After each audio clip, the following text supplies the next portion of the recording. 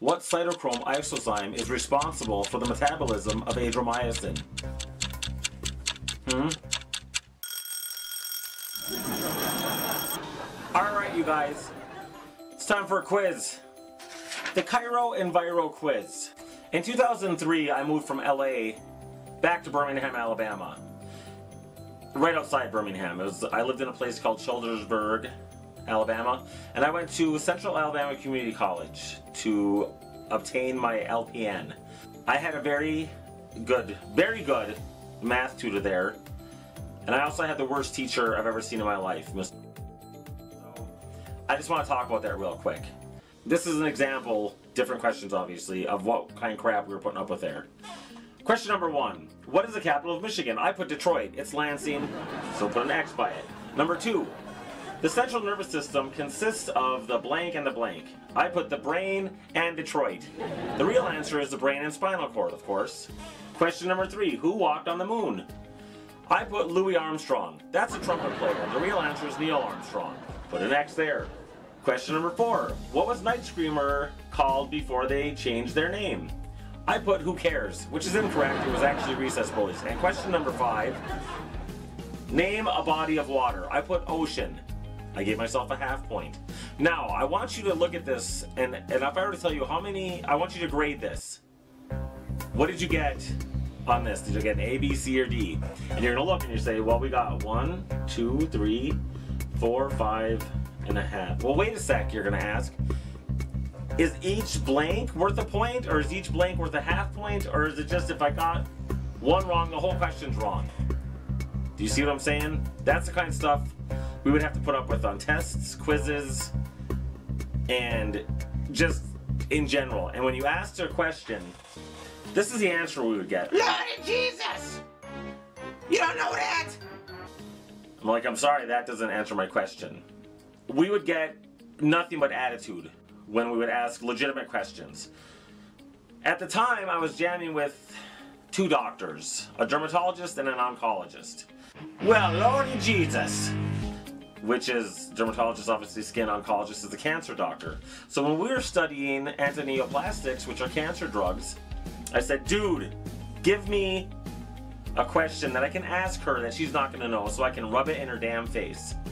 Yeah. And that's when I came, or well, I came up with that, right? That's when he came up with, ask her this, what cytochrome isozyme is responsible for the metabolism of Adriamycin? Hmm? I threw it at her one day in class.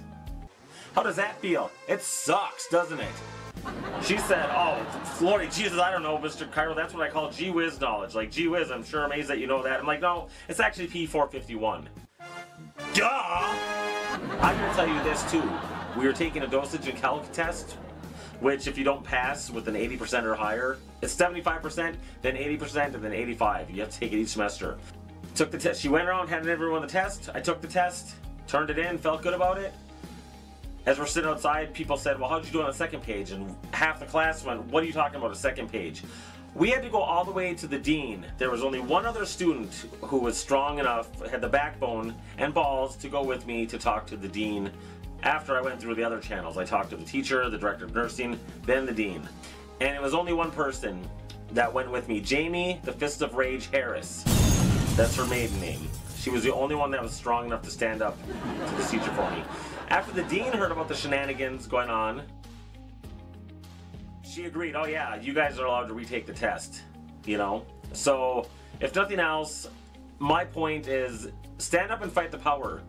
And if you're in nursing school, God bless you, because that is hard.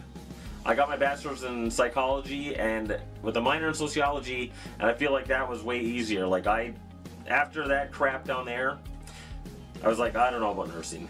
You know, I did three semesters of it and did 300 clinical hours. So, I don't know.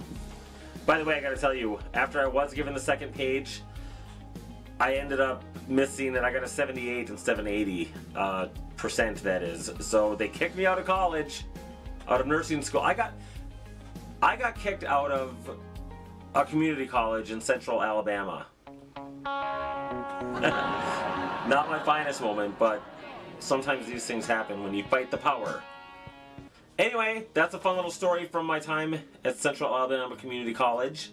And don't forget that I did write a book, and you can uh, get a hold of me, and I'll, uh, you know, I'll let you know how to get it. So, it's 850, 320 odd pages. Talk to you soon, and thank you so much for watching. By the way, people that agreed to uh, be interviewed and stuff, your day is coming. I'm looking right at you, Ashley and Eric. Talk to you guys later. Bye. I'm Miss Alabama once again, and I think it's a sin. Yes.